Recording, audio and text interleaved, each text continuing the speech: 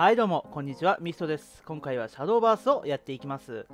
え今回なんですけどもアンリミテッドのドラゴンですね。はい、えー、攻略サイトだと、えー、アンリミのドラゴンはこれしかねえってことで、えー、庭園ドラゴン持ってきました。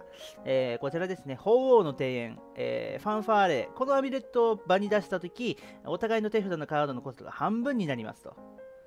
でこれを使って戦っていくデッキなんですけども、これあの相手も あの手札が半分になっちゃうんで、ちょっと厄介ですね。で、えー、鳳凰の庭園は、こっち、バンカの鳳凰でも出すあの進化時出すことができます。こっちはあの進化した時に出す能力なので、ファンファーレの能力は発動しません。つまり、えー、この後、手札に来たカードがコストがマイナスされるという効果になりますね。えー、このデッキはあの託戦などドラゴニックレイジなどで PP を加速庭園を出す出した後次のターンからゾーイを連打する。という戦い方ですゾーイは、えー、ファンファーレで自分のリーダーの体力が1になるようにダメージを与えますが次の自分のターン開始時まで自分のリーダーはダメージが0になります。つまり必ず自分のターンが次回ってきますとしかも疾走を持った76のカードですね。こいつが、こいつを3回投げるだけで21点のダメージ。で、このゾーイを使い回すといっても、3枚しかデッキには入れられないんですが、こいつ1コストのジュエルドラゴン。覚醒状態であれば、このバトル中に破壊されたコスト7以上の自分のフォロワーと同盟のカードを1枚手札に加えて突進を持つ。え突進を持つとはありますが、突進よりも疾走の方が強い効果ですので、ゾーイは、ゾーイが確定で手に入りつつ、疾走。はい。最大6回は使い回すことができます。おかしいね。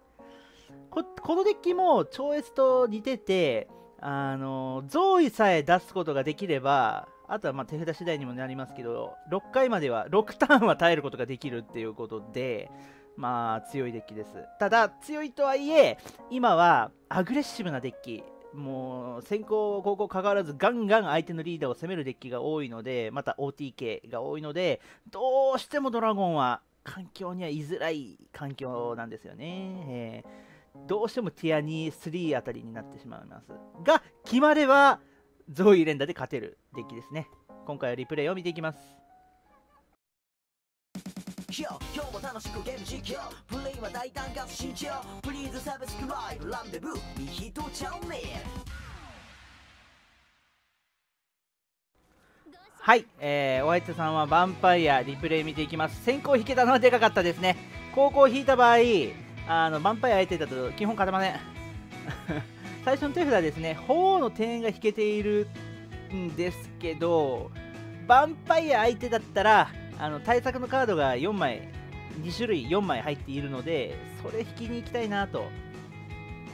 うーん、微妙と。点はまあ、あの作戦などで PP 加速すれば出せるしってことで、一応キープしたんですけども、周辺の地はね、微妙だよね。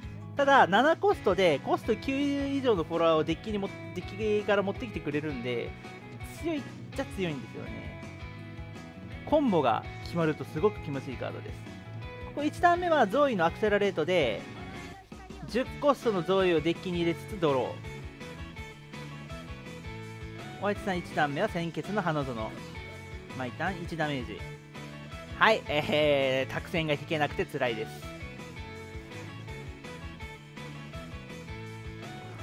お相手さんうごめく資料。ドアマンバット。痛い。えー、次のターン1点2点3点は確定。体力は17グランスエンジェル出す必要はないのでドラゴニックレイジのローエンの方向をチョイスして PP を加速します。はいお相手さんショーダウンデーモン残り1コストでドアマンバットはい、3点失踪。えーと、ここですね。もうこいつ来るの遅いです。で、ここで、えー、次のターン受けるダメージで、1、2、3、4、5、6、7点、プラスターン終了時の8点。で、進化して、これ誰かを進化して、えー、10点まで10点削られると。つまり体力1残るな。で、盤面ロックしているので、あのパラセリゼは出てこないってことでかけました庭園の手あの鳳凰の庭園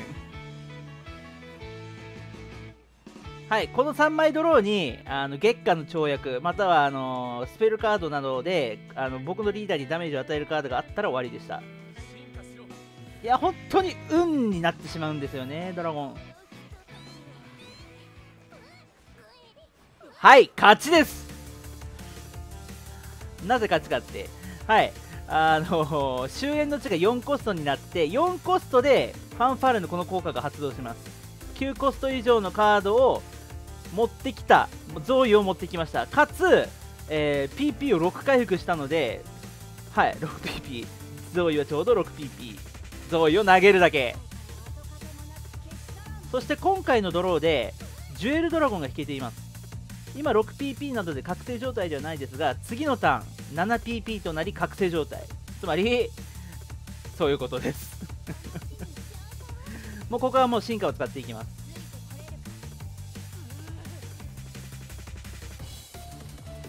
はいフォロワーを全て破壊ですね。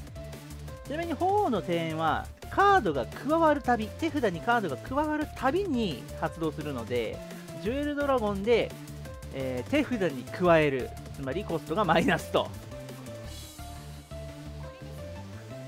はい私の勝ちです。